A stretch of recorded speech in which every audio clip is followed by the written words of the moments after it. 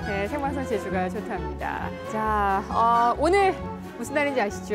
예, 초복이었습니다. 예, 저희 그 제주 MBC에도 구내식당이 오늘 메뉴가 삼계탕이었어요. 녹두죽도 나왔고 그래서 저는 뭐 이제 가볍게 먹었는데 어땠어요? 아, 드셨어요? 어, 아, 저는 아직 드시, 먹지는 못했는데 제가 생각하는 에너지는 사실 우리 에너지를 얻기 위해서 밥을 먹잖아요. 어, 오늘 같은 그쵸. 날은 밥을 먹고. 음. 하지만 그 에너지라는 거는 제가 생각했을 때 음. 어, 얼마나 즐겁게 먹었는지, 얼마나 맛있는 음식을 먹었는지 그 포만감과 음. 만족감에서 온다 생각합니다. 그래서 제가 생각하는 에너지의 원천은 감정이 아닐까요? 어려워요. 우리 다시 먹는 이야기로 돌아와요. 네네. 먹방 자 선생님이 정리해 주세요. 저도 초복이, 초복이라 뭐 어제도 저희 고향 한림에서 삼계탕을 먹었고 어, 근데 오늘 왔는데 연동 맛집이 어디예요? 제주 MBC. 제주 MBC 구내식당.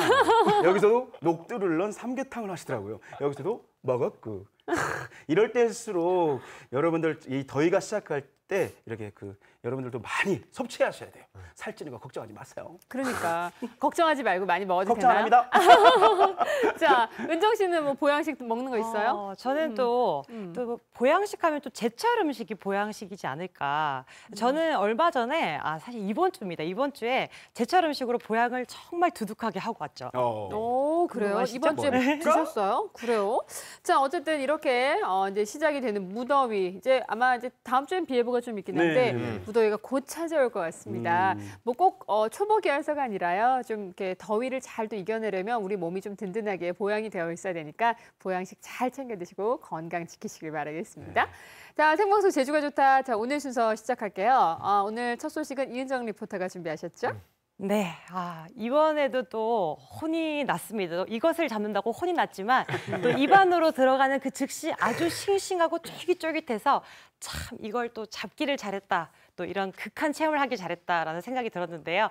궁금하시죠? 화면으로 함께 보시죠. 뭐, 아유, 뭐, 시작되었군요. 뭘. 아이고. 아우, 아이고. 그 배를 타지 마오. 저희 밥부터 먹고 가면 안 돼요? 좋아요. 뭐 먹고 싶은데요? 여기 있잖아요. 횟집에 일하러 거.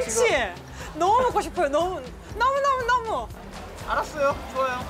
좋아요 좋아요. 한치 먹으러? 아, 횟- 횟집에 일하러 가신 거세요, 그냥? 아 순순히 응해주는 피디님의 반응이 살짝 수상했습니다. 역시나 이럴 줄 알았습니다. 직접 잡아서 먹으라는 거. 그렇게 시작된 한치와의 쫓고 쫓기는 밀당. 지금 시작합니다. 아이고. 여름이면 생각나는 한치. 체험 낚시배 선장님의 도움을 받고 어둑해지는 오후에 출항을 했는데요. 바다 날씨가 오늘 살짝 걱정이 됐습니다. 어, 출렁이는 노을에 아유 속은 울렁 울렁. 사장님, 보이는데 여기? 저희가 드디어 이 한치를 잡을 포인트에 도착한 건가요? 이미 배가 많이 흔들리고 있는데요. 네, 출발부터 어, 엄청나게 오늘 흔들렸습니다. 아침에 에, 한치들이 많이 나왔다니까 어, 너울이 있고 하면요. 어, 고기들이 경계심 덜해요. 아, 고기들이 아, 잘 잡히는군요. 한치를 한번 해볼게요. 맛이. 더 오히려 경계심이 덜하대요. 한치를 잡으려면 루어라는 요 가짜 미끼가 필요한데요. 그러니까 한치를 살짝 속이는 거죠. 한치는 결혼했어요? 아니요. 남자친구 있어? 뭐야? 네, 남친구 멈칫하네요. 있어? 이 한치는 이 가짜 미끼로 하는 건데 아, 여기에 생명을 불어넣어야 돼. 어, 연애하듯이 연애과성 최선을 다해야 돼. 연애하듯이. 자, 연애하듯이 이게 포인트입니다. 그냥 낚싯줄을 넣고 기다리는 게 아니라요. 이렇게 한치와 밀당을 해야 돼요. 한 세 번 하고 세 번에서 다섯 번 하고 딱. 붙잡고 밀당을. 살짝? 연애하시는 겁니까 지금? 에, 추 무게와 한치가 달려 있을 달리면 무게가 달라지겠죠, 그죠? 무거워진 느낌 있겠죠. 툭 하는 느낌도 와요. 이렇게 살살 당겨 올리면 이게 가- 먹이로 착각하고 공격해서 달려들어요. 선장님께 낚시 특훈을 듣는 사이에 어느새 바다에 어둠이 찾아들었습니다. 배 위에는 한치를 유인하기 위해 집어등이 환하게 불을 밝혔는데요. 저도 배운 대로 본격적인 한치잡이에 이렇게 밀당을 하면서 아직은 좀 가벼운 것 같아요. 모든 신경을 손끝에 딱 집중하면서 한치를 간절히 기다렸습니다. 그러나 좀처럼 찾아와 주질 않는 한치. 물속만 하염없이 찾아봤는데요. 은정 씨 연애 똑같네요. 연애가 어렵다. 상당히 많이 움직이는데요, 지금. 피디님 그냥 해주면서 한치 먹자니까. 그러거나 말거나. 우리 임 PD님 듣지도 않으십니다. 오늘 허탕치면 어떡하지? 정말 걱정했거든요. 옆에서 먼저 승전보가 전해졌습니다. 미끈하게 올라오는 한치 보이시죠? 요 한치 부럽더라고요. 그럼 한치 낚시의 묘미가 어떤 게 있을까요? 한치 낚시는 이 잡는 손맛도 좋지만은 가족과 함께 나눠 먹는 맛이 더 좋습니다. 그래서 와, 두 가지 즐거움 다 느낄 수 있을 겁니다. 아, 낚시꾼이셔요? 오늘 같이 예, 이렇게 좀 너울이. 심하고 비바람이 좀 심한 날에는 좀 일반적으로 나가는 편인가요? 네, 원래 일반적이진 않은데요. 그래도 이런 날일수록 다른 경쟁자들이 더 없기 때문에 또 좋은 기회가 될수 있습니다. 역시 프로 낚시꾼이시네요. 굳은 날씨로 경쟁배가 없어서 더 유리하다고 하는 파워 긍정. 어쨌거나 굴하지 않고요. 다시 낚시에 집중하니까 이렇게 또 올라와주는. 한치입니다. 아우. 손맛 제대로 느꼈습니다. 이게 안 떨어져요. 느껴지시죠? 제가 흥분하다 보니까 요 한치에 살짝 물리고 말았습니다. 오. 작지만 맵더라고요. 앞도 치면 되죠. 점점 밤이 깊어가고 있습니다. 멀리 다른 배들의 불빛도 따스하게 느껴지는데요. 손맛을 알고 나니까 정말 재밌었는데요. 아이고, 아이고, 이 흥분한 목소리 들리시나요? 아, 정말 진짜. 저렇게 뒷발을 그저 처음 보네요. 아, 한 마리 잡았다고 정말 배가 떠나갈 듯 합니다. 아유. 그래봐야 겨우 두 마리 잡았는데요. 우리 피디님 정말 오만 이만을 네. 드립니다. 한치란 말이에요. 이거 어떻게 잡아야 되냐면 여보 한잔 하신 것 같은데요. 연애를 안 해서 잘 모를 텐데 밀당 알아요 밀당? 어 알아요. 여봐, 여봐, 여봐. 이렇게 당겼다가 스며시 놔줘 아 기다리고. 하라고? 부드럽게 당겼다가 기다렸다가 슬며시 나와주고 그래서 그걸 몇 번 하라고요? 해보면 알아 아니 알아 아, 제 승부욕에 불을 지피시더라고요. 오케이. 활활. 오케이. 머릿속에 온통 한치뿐. 그 드디어 제게도 올 것이 왔습니다. 왔습니까? 이야, 기쁨의 세레머니. 한치야 반갑다. 잡았습니다. 한 번에 두 마리가 올라왔거든요.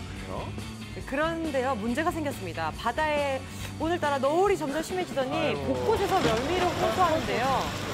큰 소리 치던 피디님부터 줄줄이 고통을 호소합니다. 누구나 쉽게 할 수 있는 거거든. 근데 오늘은 좀 너울이 센 혼자 편이에요. 계시는 것 같은데요. 혼자서. 맞아요, 편안하시더라고요. 연애하고 계세요 아직까지. 멀미로 죽은 사람은 없어요. 멀리서 죽은 사람은 없어요. 아, 명언이시더라고요. 여기 멀미로. 사색이 다 된 분 계시네요. 저 마음 알죠? 괜찮으세요? 잘난 척 하더니. 저 비크라고 저기. 아니 피디님이 저랑 낚시 그 게임을 했거든요. 낚시 되긴 했는데 이게 지면은 한치를 하나도 못 먹어요. 제가 지금 오. 여섯 네, 제가 네두 마리 개 잡았거든요. 피디님 두 개 잡았거든요. 두 개 잡고 지금 저러는 거예요 지금.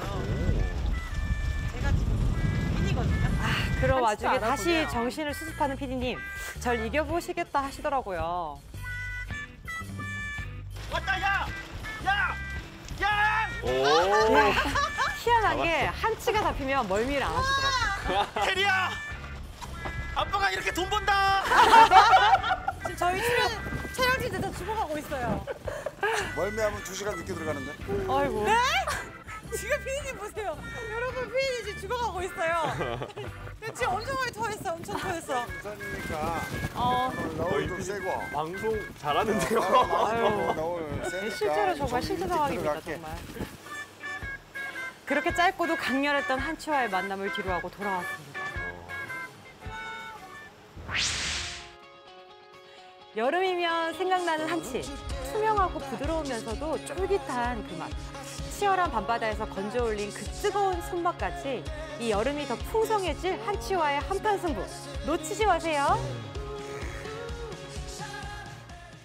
야, 전날 네. 이제 그 날씨가 좀 너울이 심해가지고 좀 다들 고생을 하셨는데, 아, 우리 이은정 리포터. 예. 아, 괜찮았어. 근데 좀 괜찮아 보였어요. 아까 그 우리의 이명진 PD, 테리 아빠에 비하면 좀 괜찮아 보이는 것 같은데요?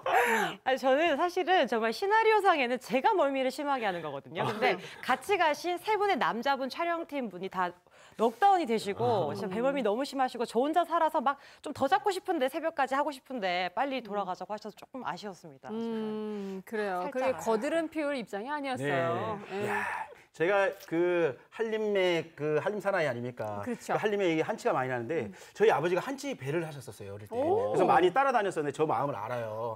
그 한치 배 위에서 바로 잡자마자 큼지막하게 썰어서 먹는 그 맛. 몸통은 꼬덕꼬덕꼬덕 하고 그 다리는 아삭아삭 아삭아삭 거리는 그 맛. 와, 그 횟집에서 먹는 그 맛하고 전혀 다르죠. 어, 맞아. 그 된장 초간 탁 찍어가지고 탁 먹는 그 맛. 우리 이은정 씨는 이렇게 먹었어요? 어떻게 했어요? 아, 그래서 저도 정말 이게 배 안에서 실제 이게 촬영에 나가지 않았는데 음. 먹물 한치 라면이라고 해서 그죠, 라면에다가 다르죠, 다르죠. 요거 아시죠? 아, 역시. 요거 땡초 탁 역시, 썰어가지고 역시. 파 썰고 이제 탁 넣어가지고 먹물을 쫙 뿌려가지고 그냥 약간 짭짭짭하게 보양식을 먹는 것처럼 이렇게 탁 맛있는 거랑 이제 한치를 그 자리에서 쫙 썰어가지고 그냥 멀미가 없어지죠? 양파 그만해. 양파에다가 우리- 초고추장을 이렇게 자, 먹방에서 우리 한번 한치 특집을 해야겠어요. 네, 그래요. 자, 어쨌든 아주 고생 많이 하셨어요. 우리 그 촬영한 날 너무 고생 많이 하셨는데 그래도 덕분에 이렇게 맛있는 한치가 네, 또 왔었네요. 자, 이은정 씨 수고하셨습니다. 자, 이번에는 우리 아, 자 선생님 만나야죠. 어디 가나요? 네. 네. 예, 한치는 못 먹었지만 한치가 많은 동네로 갔다 왔습니다. 그래도 네 모처럼 만에 서귀포로 다녀왔습니다. 네, 요즘에 핫한 동네인데요. 예, 서귀동입니다. 이중섭 거리와 이 천지연 폭포와 이 자구리 해안이 쭉 이어진 동네인데요. 볼거리도 풍성하고 먹을거리도 풍성한 동네입니다. 한번 같이 가보시죠.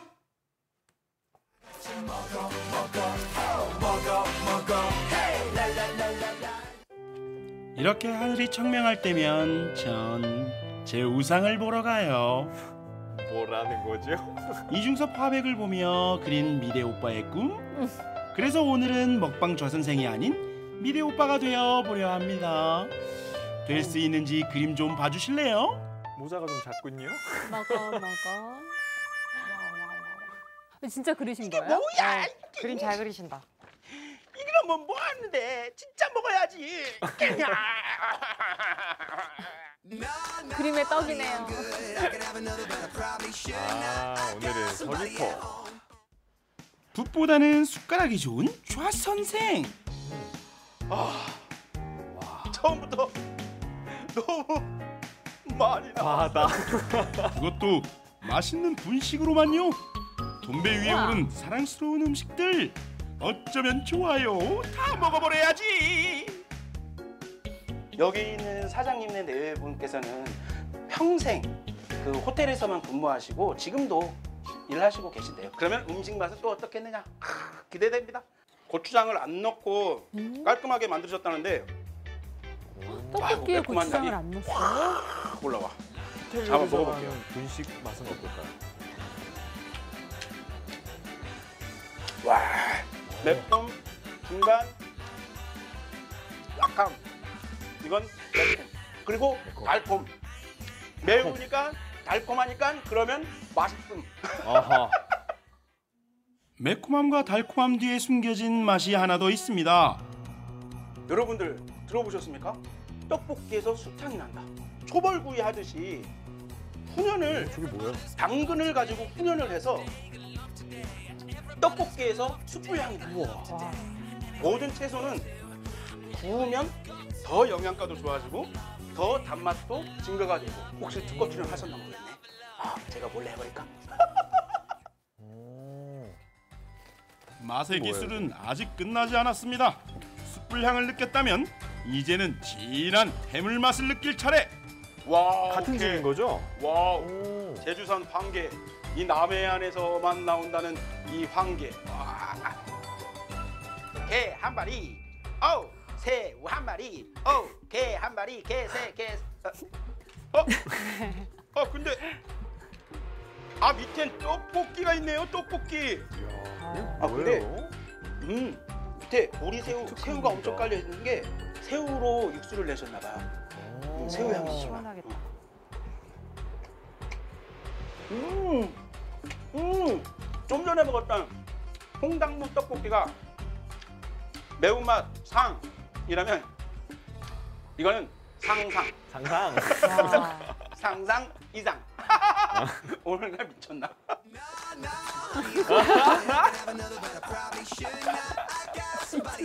사장님 시키지 마세요 좀.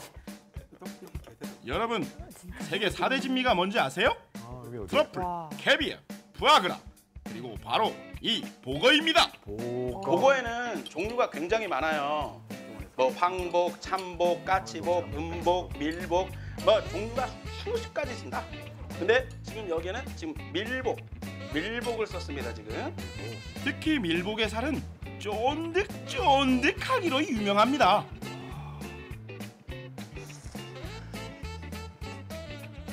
와, 음, 음, 음, 음. 역시 이 보고는 쫄깃, 쫄깃 한 맛. 음. 알죠, 알죠. 구수한 복지리와는 또 다른 매력. 매콤한 국물은 어떠세요? 제주도 분들도 이 김치볶음, 뭐 볶김치라고도 많이 얘기하시는데요. 이걸 잘 모르세요. 이 김치, 볶음. 하, 여기가 거의 원조격이 아닌가 오, 싶어요. 저는 처음 들었어요. 아, 복국의 여러분, 김치는 또 처음인 것 같아요. 요거는 요거 네. 요거 아세요? 에, 에, 에라고 하는 요거 저희 아버지가 저는 어, 장가 가기 전에 먹지 말라고 하고 저희 삼촌들이나 선배들이 안 돼 총각 들은 먹지 마 왜요? 어허, 왜요? 장가 가기 전에 먹지 마 이놈의 꼭 그러더라고요 저는 먹지 말라 그랬는데 몰래 먹어야지 응? 응? 왜? 응? 왜요? 없어져 버렸어 어? 오? 바람과 시원함의 경종을 울릴 김치볶국. 시집 기념 사중창을 준비했습니다.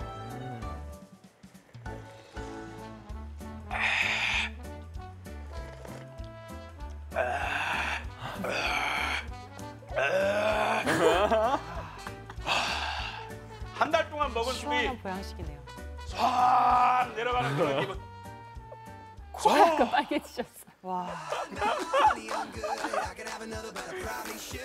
어.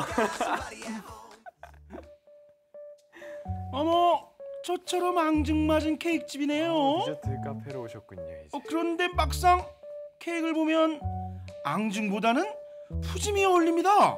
케이크 하면 뭔가 아기자기하고 하, 이쁘고 그치 눈으로 먹는 거죠.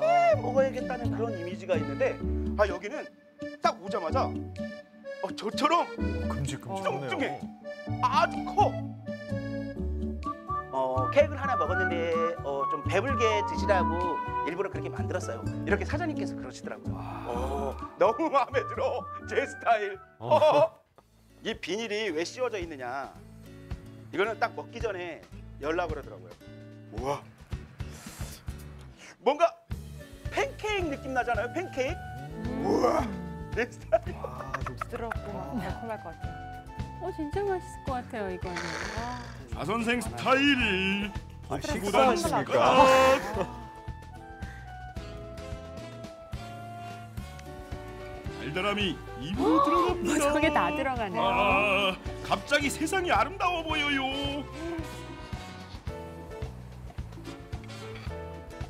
입안이 산소가 다 없어지면서 입안이 달콤함으로 꽉 차는 이 순간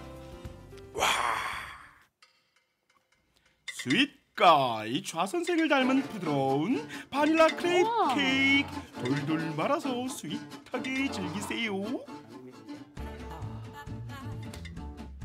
야. 저는 먼저 케이크 천국으로 갑니다. 커피 한 잔 마실만 한데 오로지 케이크만 그 뭔가 드시네요. 그저 옆에 주스가 있는 것 같은데요. 줄지 않았어요. 달콤하고 샹콤하고 뭔가 우리나라의 그 없는 언어 없는 맛 얄콤 시알콤 샹콤한 그런 맛? 입 안에서 그냥 그런 맛이 느껴져요 아 이건 뭐라 말을 못하겠어 여러분들 당근은 매진하지 않는다 구자 당근 크, 구자 당근 달콤달콤 촉촉한 시트 위 도톰하게 올라간 크림. 사랑이 눈에 보이는 순간입니다.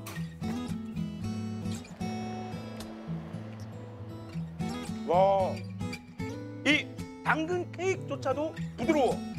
그리고 시나몬 향이 전혀 강하지 않아. 이제까지 먹었던 그 당근 케이크와는 전혀 다른 맛이다라고나 할까요? 와 문화예술이 살아 숨쉬는 서귀포로 맛있는 거 드시러 오세요. 오늘도 맛있게 잘 먹었습니다. 맛집 사장님들 기다리세요. 제가 곧 갑니다. 와 오늘도 뭐 전혀 실망을 시켜주시지 않았어요. 실망을 시키지 않으셨는데 처음에 일단 분식부터 야. 그게 이제 우리가 그냥 일반적인 분식을 생각했는데 그 숯불 향이 난다니까. 네네네. 응. 너무, 너무 그 제주 로컬을 이용해서 정말 그, 도, 그 제주 도마 그 돈배라고 하죠. 정말 제주스러운 음식을 가지고 연구하고 제주스러움이 가장 좋은 음식이라고 생각하고 연구를 하신대요. 정말 그런 정신 크, 너무 훌륭했습니다. 아니, 그러니까 맛일 수밖에 없네요. 맞아요, 맞아요. 저는 어, 마지막에 디저트 카페 봤어요. 네. 유심히 좀 봤는데 아. 케이크 집이잖아요. 아. 와, 또 하, 뭐랄까 저는 맛있는 카페나 레스토랑을 가면 음. 저희 부모님이나 여자친구 생각나기보다는 저희 조카들이 참 생각이 납니다. 아, 이번 주말은 조카 아. 데리고 한번 가봐야 되겠어요. 네. 뭐. 조카들뿐만 아니에요. 다 좋아할 것 같아요. 저도 아. 너무 가보고 싶었어요. 아 마지막에 그 푸짐한 케이크 꼭 먹어보고 싶네요. 네네네. 자 오늘도 자 선생님 고맙습니다. 자 이번에는 LTE 현장 순서인데요. 어, 오늘은 장인정 아나운서가 시원한 바다로 가 있다고 합니다. 불러볼까요? 장인정 아나운서? 네, 안녕하세요. 장인정입니다. 저는 와. 지금 바다에 나와 있는데요. 어떤 바다냐고요? 바로 함덕 뮤직 위크가 펼쳐지고 있는 함덕 해수욕장에 나와 있습니다. 그러게요. 벌써부터 축제의 열기가 전해지는 것 같은데요. 오늘 소식이 궁금하네요. 전해주시죠. 네, 여러분 이 신나는 음악 소리 들리시나요? 이곳의 분위기는 지금 한층 훅껏 달아올라 있습니다. 여기는 아름다운 바다와 파도 그리고 백사장 음악이 만나서 정말 환상적인 풍경을 있는데요. 아, 올해도 역시 큰 인기를 끌고 같은 이 뮤직 페스티벌 어떻게 구성되어 있는지 여쭤보지 않을 수가 없겠죠. 위원장님 나와 계십니다. 위원장님 안녕하세요. 네, 와 정말 분위기가 굉장하네요. 역시 큰 인기를 왜 끌고 있는지 알 것 같은데 사실 정말 오래됐잖아요. 올해로 16회를 맞았다고 들었는데 이렇게 꾸준하게 큰 인기를 끌고 있는 비결이 뭘까요? 글쎄 비결 아마 여기 계신 뭐 뮤지션도 계시지만 어, 관객들이 한꺼 같이 만들어가는 축제 뭐 요게 저희 비결이 아닐까 그런 생각을 해봅니다. 어, 저도 느낄 수 있는 것 같아요. 그런데 이게 또 music week라고 해서 오늘과 내일 열리는 Stepping Stone Festival뿐만이 아니고 앞으로도 더 많은 프로그램이 있다고 들었는데 그 프로그램도 소개해 주시죠. 어, 이번 주 오늘 내일 이제 Stepping Stone이 있고요. 어, 다음 주 토요일 일요일에는 라틴 문화 페스티벌이 있는데요. 한 30개국에서 라틴 댄서분들이 오세요.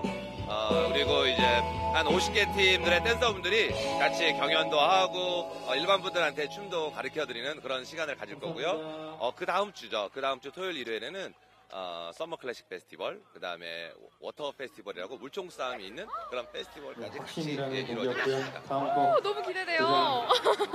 남아있는 일정도 안전하고 스릴 넘치게 잘 운영되길 바라겠습니다. 고맙습니다. 감사합니다. 네, 이렇게 풍성하게 준비되어 있는 함덕 뮤직위크 정말 기대되고요. 사실 무엇보다도 기대되는 건 바로 이 신나는 무대입니다. 그 중에서도 무대에 서 있는 가수분을 만나보고 싶었는데 바로 여기 나와 계십니다. 안녕하세요. 네, 마지막 무대에 서신다고 들었는데 이렇게 아름다운 곳에서 공연하는 또 소감이 남다르실 것 같은데 소감을 한번 여쭤볼게요. 어, 제주에 오는 거 언제나 좋고요. 그리고 마침 이번에 저희가 최근에 새 앨범을 냈어요. 그걸 뭐 제주에 계신 여러분들에게 들려드릴 수 있게 돼서 되게 기쁩니다. 그리고 사실 제가 듣기로는 첫 번째가 아니고 여러 번 무대에 섰다고 들었어요. 어떤 점이 이렇게 매년 이 뮤직 페스티벌을 찾게 만드는지 그 이유도 궁금합니다. 네네. 그, 아, 뭐, 16회, 올해 16회인데 저희는 한 10번은 온 것 같아요. 네, 뭐, 한국에서 가장 오래된 페스티벌이고, 너무 아름다운 곳에서 하고 있어서, 뭐, 불러만 주신다면 저는 뭐, 내년, 후년 언제나 오고 싶은 페스티벌입니다. 네, 오늘 무대까지 화이팅 하시길 바랍니다. 고맙습니다. 네. 아, 무대까지도 정말 기대가 됩니다. 여러분, 이곳에서는 지금 아름다운 음악도 흐르고 있고요. 에메랄드 빛의 멋진 물결도 흐르고 있습니다. 이곳에 오신다면 여러분, 아무것도 안 하셔도 됩니다. 그저 흐르는 음악에 몸을 맞추시기만 한다면 정말 예쁜 여름날의 추억을 만드실 수 있을 거예요. 이곳에 오셔서 예쁜 추억을 만드시기 바랍니다. 지금까지 음악이 흐르는 함덕 해수욕장에서 장인정이었습니다. 네, 장인정 아나운서 수고했습니다. 자, 이번에는요, 우리 제주 해녀 항일 운동의 의미를 되새겨보는 시간을 만나봅니다. 아, 오늘은 제주 해녀 항일 운동을 이끌었던 세 분의 주역들을 만나볼 텐데요. 화면으로 함께 만나보시죠.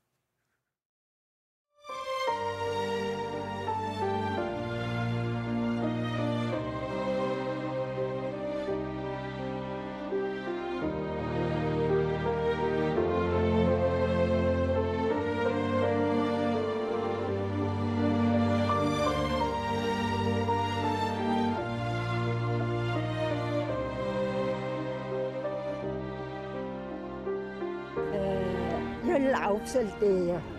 열아홉 살 때에 다 착취해버려서 우리에게 돌아오는 건 지정 가격이 반밖에 안 돼요. 그래서 처음에 기초가 돼서 해녀 사건이 저, 됐어요.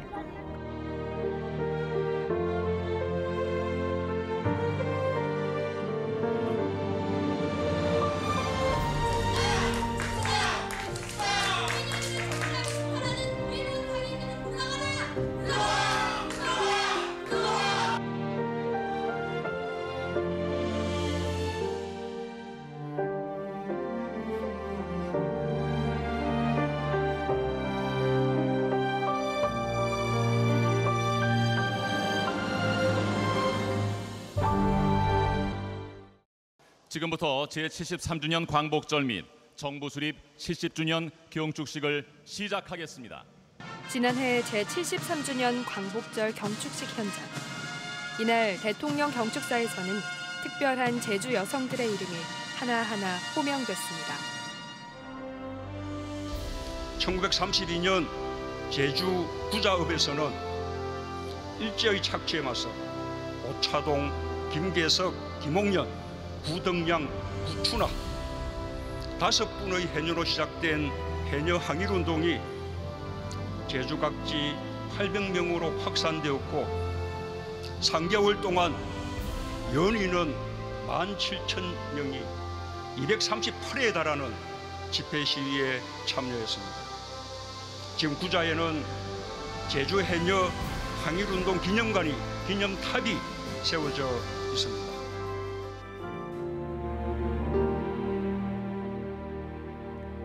제주 해녀 항일운동 기념탑이 서 있는 이곳은 87년 전 해녀들이 총집결한 현장입니다. 이 항쟁을 이끌었던 세 분의 해녀들은 하도 야학강 습소의 제1회 졸업생들. 야학을 통해 착취의 부당함을 깨우치고 항일 투쟁의 선봉에 섰습니다. 제가 이제 어, 85인데 어, 19살 때예요. 일본 사람들이 우리 한국을 이렇게 착취 식민지 되고 우리 깔력을 정 안 주고 하니까 이제 투정이라지요. 일본 사람들하고 이제 보통 할머니들 왜 연세가 있으시면 이렇게 자녀들한테 의지를 많이 하잖아요. 그렇지를 않으셨기 때문에 제가 처음에 너무 힘들었어요. 근데 지금 생각하면 아 할머님이 과연 이렇게 평생을 이렇게 사셨구나 할 정도로 그리고 지금 생각하면 정말 바르게 지금 시대를 앞서갔다고 저희는 애기 아빠랑 맨날 그래요. 아 정말 할머니는 앞서가셨던 분이구나. 야학을 통해 의식화된 해녀들은 일제의 수탈에 맞서 치열한 항쟁을 펼쳤습니다. 항쟁의 그날에는 일본 경찰 주재소의 정문에 오른 한 명의 해녀가 있었습니다. 한국 사람 을 이렇게 세게 먹어도 이렇게 해녀까지 올라서 세게 먹으려고 이제 당신네가 하지 않느냐. 경하니까 이제 잘 해주고 집에 돌아가래.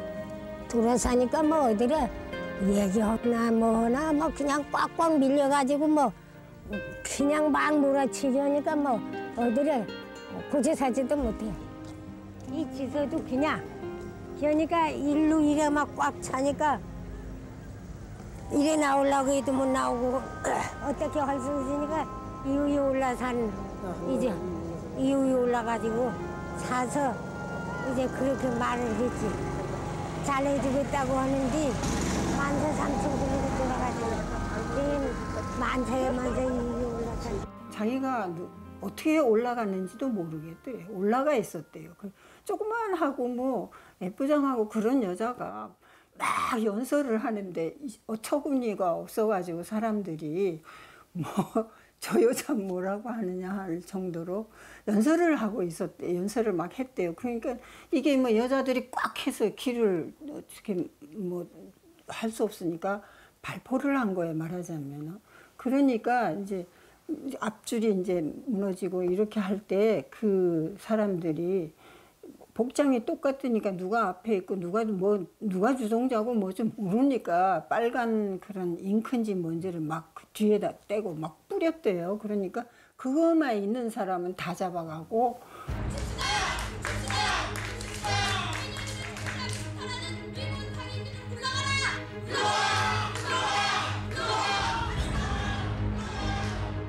항쟁의 결과는 살벌한 검속과 체포. 검속된 100여 명의 해녀들은 석방됐지만 주동자였음을 자청한 세 분은 체포되어 모진 옥고를 치러야 했습니다. 처음에는 잠 안 재우고 그게 제일 기본이잖아요. 물 안 주고 뭐 어쩌. 나중에는 이게 배우 누가 배우자니까 그거를 쓰라는 거예요. 그게 뭐 몇천 번은 쓴 것 같아. 그냥 속옷만 입혀놓고 딱 그냥 공개된 책상 위에 앉아가지고 쓰라는 거. 그거 를 연필이 닳도록 막 써. 아홉 개죠. 예. 그러니까 이게 이쪽 사람들도 뭐 어떻게 해볼 수가 없- 안 그래서 그거를 그 선생님들이 꼭 우리를 코치했다 이렇게 하면은 그때 뭐 엄청난 난리가 났을 것 같아요. 혹독한 고문과 옥고를 치렀던 김옥련 부춘화 지사. 두 분은 70년대 부산에서 서로 의지하며 사는 인연으로 이어집니다. 그러나 젊었던 모습 그대로 남아있는 한 분이 계십니다. 아버지 어머니 말로도 그렇지만은 똑똑하고 아주 훌륭했어요. 머리가 좋았어요. 영리했어요. 그래서 어린, 어린 나이 언니들하고 그렇게 행동을 같이 할 때 했을 때는 참 남다를 남다를 걸로 생각이 되는데 세 분 중 가장 어렸던 부덕량 지사는 고문의 후유증으로 건강이 악화됐고 6년 후인 1938년 세상을 등졌습니다. 27, 꽃다운 나이. 조국의 광복도 보지 못한 채였습니다. 그 어, 몇몇 분들은 아시는 분들은 해녀의 그저 우리 고모님이 그 훌륭함을 나한테 전달이 됐어요. 크, 이런 분이었다. 아깝게 돌아가셨다. 그래 그또 안 하면 안 될 일이고 그 일본 일본 경관들이 그렇게 수, 수탈을 하는데 그 피해만 보면서 가만히 있을 수도 없고 그래 그 주동 주동되는 사람들도 누가 선뜻 나타나는 사람이 없을 거 아닙니까? 그러다 보니까 부춘나 김목련 부덕량 3인이 주동이 돼 가지고 이 해녀 항일 운동이 발발이 된 겁니다.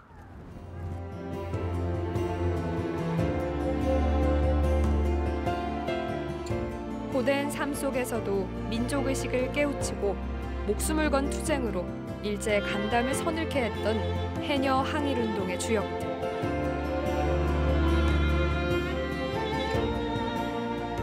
누구보다 용감했던 당신들을 기억하겠습니다.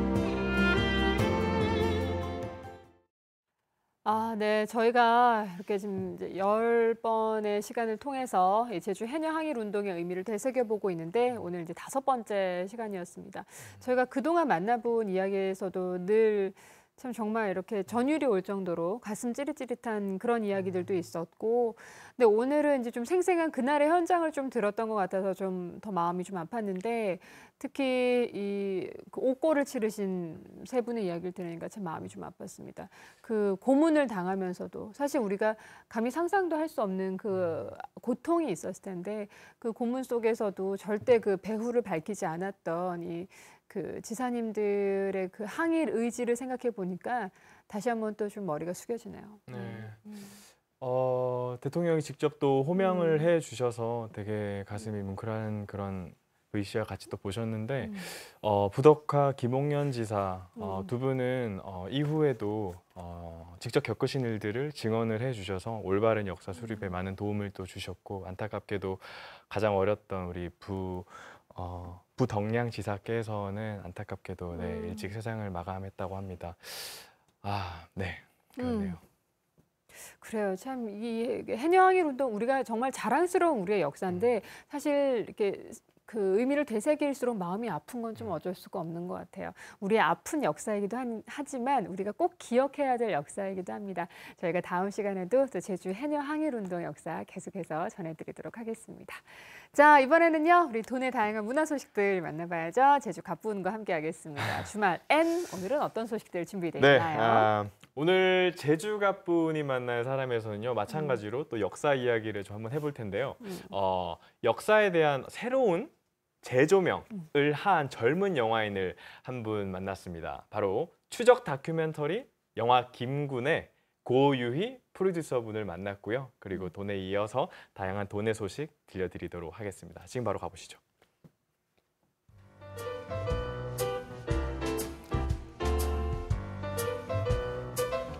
우리의 역사에는 많은 사건들이 있었습니다. 하지만 그 역사가 완벽히 해결되지 못했을 때 우리는 종종 피로감을 느끼거나 그 사건은 우리에게 잊혀지기도 하죠. 이때 완벽히 낯선 시선으로 우리에게 상쾌함을 던져주는 예술가들이 등장합니다. 오늘 제주갑분이 만날 사람에서는요. 5.18 민주화 운동을 완벽히 새로운 시선으로 접근한 젊은 영화인 영화 김군의 고유희 프로듀서를 만나보겠습니다. 저희가 찾는 분이 이분이거든요.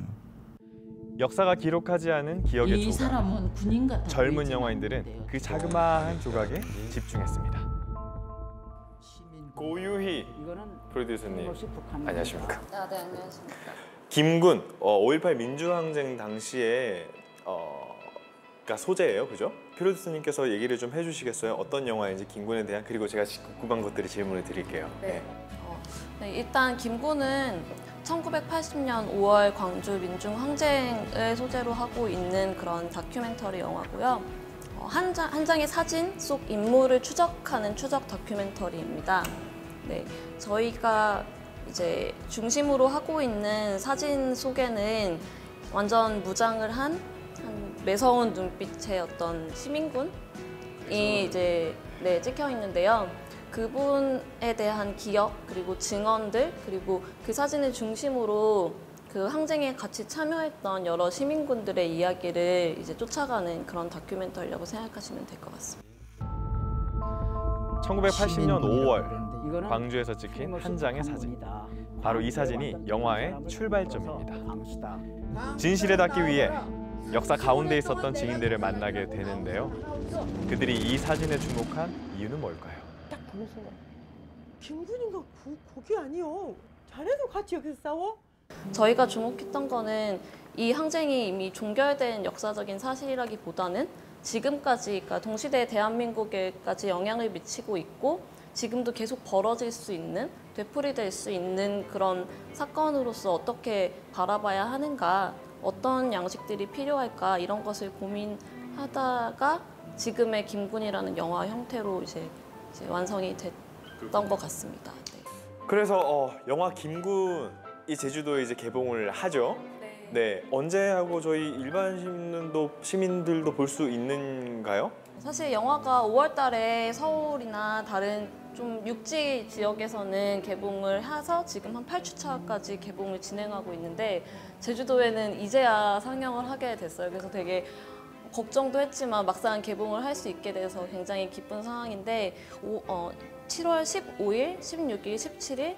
네, 이렇게 3일 동안 네, 오후 시간에 상영을 하실 수 있으니까요.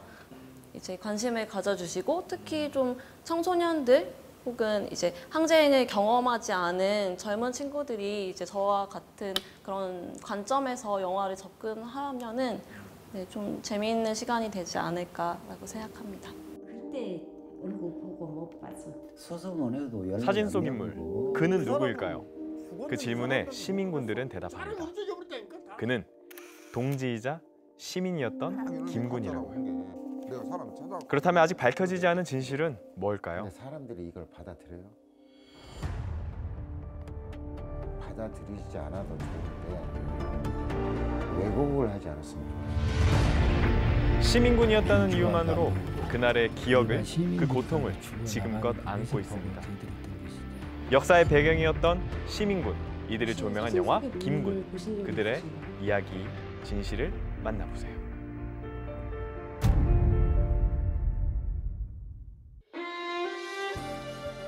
매년 7월 장마와 함께 찾아오는 양성평등 주간 그리고 살림하는 살림하는 부츠. 네 번째 시간인데 이게 해마다 조금씩 세요. 오늘 강한 이미지들이 많은데 이번 살림하는 부츠 네 번째 어떤 전시로 준비되었는지 소개 부탁드립니다. 네, 이번 네 번째는 낯섬입니다.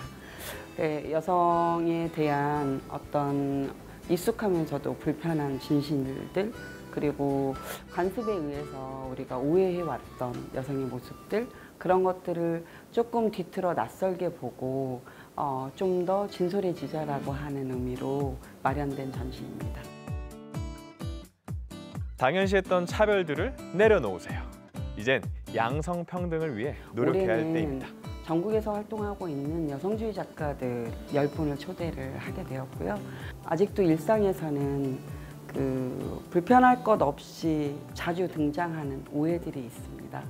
그리고 우리가 이거를 인식하기 전에 이미 삶 속에 어, 너무 깊이 파고들어 있는 간습화된 여성에 대한 시선들 네, 그런 것들을 새삼 낯설게 보자라고 하는 의지이기도 했고요. 어, 삶 속에서 과연 우리 여성의 삶은 이 서사는 어떻게 기억되어 왔을까 어, 그거에 대한 질문부터 시작이 되었던 것 같습니다. 예술가의 시선으로 여성의 이야기를 털어놓은 전시 놓치지 마세요. 다른 시선으로 바라본 제주는 어떤 모습일까요? 전시에서 확인해 보시죠. 25분의 작가님들을 이제 초대를 해서 전시를 걸었는데 크게 세 가지 주제로 정리가 됩니다. 첫 번째는 이제 난개발이나 국책 사업 때문에 이제 빠르게 사라지는 제주 생태 환경에 대한 이미지를 부탁을 드렸고 두 번째는 이제 저희 그 제주 신화에 관련된 이제 여러 가지 스토리들을 이미지로 표현하는 부분을 준비를 했고 그다음에 이제 마지막으로는 제주 사회에서 어떤 그 전해지는 세대 전승에 대한 부분 네, 그런 것들을 주제로 삼았습니다. 이번 전시는 시민들이 함께 참여했다는데 의미가 있는데요. 사진의 대표적인 대한민국 섬이라는 이 공간에서 사진을 주인공으로 하는 축제 하나가 없다라는 거에 이제 착안을 해서 처음에 이제 발의를 했고요. 그다음에 이제 어, 다양한 그 사진 형태의 수업들이 제주도에는 수많이 있습니다. 이제 그런 그 시민들 중심으로 해서 그럼 우리가 관의 힘을 빌지 않고 시민들의 힘을 주도로 이런 거 한번 만들어 보자라는 그런 아이디어에서 시작했습니다. 보시다시피 소중한 제주의 것들이 이제 사라지는 거에 대한 아쉬움 이런 것들을 메시지로 담았기 때문에 어, 그런 면에서 자녀들의 어떤 교육 프로그램을 좀 활용하셔도 좋을 것 같다는 걸 좀 자신 있게 말씀드리고 싶습니다. 제주의 미래를 함께 고민하는 화산섬 국제사진제 이번 주말까지 이어집니다. 네, 아, 이 광주 민주화 운동 뭐 아직까지 이제 해결되지 않은 역사로 남아 있는데 이 고유희 프로듀서가 이제 제주 출신이기도 네. 하고요. 사실 또 그 시대를 겪지 않은 세대임에도 불구하고 또 이렇게 새롭게 또 작품에 좀 다가가고 진실에 다가가려는 좀 새로운 조명이 좀 보기 좋았던 것 같아요. 음. 이게 시도도 좋았지만 결과도 좋아서 개인적으로 저도 좋습니다. 어, 일단은 많은 영화제에서 상을 받고 있고요. 어, 전문가 평론가들의 호평도 받고 있는 데 제주도는 오늘 15, 16, 17일 어, 아까 말씀하셨듯이 제주도 모교에서 초대로 어, 중앙로 일대 영화관에서 열리는데요. 우리 일반 시민들도 어, 유료로 관람할 수 있으니까 많은 어, 관심 부탁드립니다. 아유, 많이 관심들 가져주셔서 개봉관도 많이 늘었으면 좋겠네요. 네네. 그러게요. 네네. 네. 그래요. 사실 우리 오늘 이제 소개해드린 영화도 그렇고 전시도 그렇고 굉장히 이제 우리 사회에 좀 의미가 있으니까 많은 분들이 좀 둘러보셨으면 좋겠습니다. 자, 그리고 저희 앞서 전해드렸던 그 해녀 항일 운동의 역사에서요. 저희 또 해녀 항일 운동의 지사님들의 성함을 저희가 잘못 전해드린 게 있어서 좀 바로 잡아드리려고 합니다. 부춘화, 김옥년, 부덕량 지사님임을 다시 정정해 드리도록 하겠습니다. 자, 계속해서 주말 제주 날씨 알아볼까요?